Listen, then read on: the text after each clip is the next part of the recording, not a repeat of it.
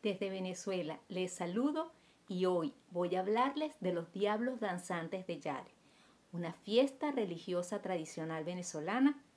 declarada por la UNESCO Patrimonio Inmaterial de la Humanidad.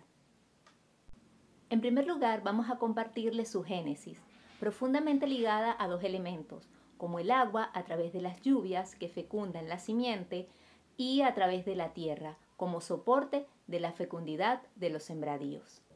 Según crónicas orales transmitidas de generación en generación, cuentan que una fuerte y prolongada sequía azotaba la localidad, por lo que se reunieron los sembradores de la zona para elevar sus peticiones al Altísimo, su deidad, y prometerle que si le concedía abundantes lluvias, bailarían como ofrenda para él con máscaras y adornarían las calles con flores, alimentos y bebidas. Consiguiente a estas promesas llega la lluvia abundante, y es así como los promeseros, año tras año, el jueves de Corpus Christi y su víspera, salen a bailar las danzas de diablo. Se presentan con tambores y maracas, siempre de frente al Santísimo Sacramento.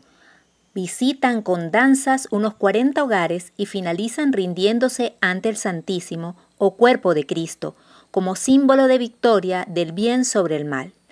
Desde la génesis de esta fiesta está explícitamente expresada la ofrenda de alimentos y desde sus inicios cada familia de promeseros contribuía con los frutos de sus cosechas para las ofrendas y siendo la zona más productora de tubérculo, el plato natural que surge para combinar estos alimentos es una sopa, sopa muy consistente que se le llama mondongo y a la cual se le añade panza de res.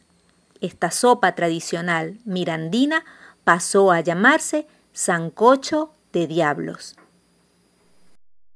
Este plato se sirve para dar por culminada la celebración y aún en nuestros días un gran grupo de voluntarios se reúne para preparar el sancocho de diablo y dar alimento a más de 200 personas en el estadio de la localidad.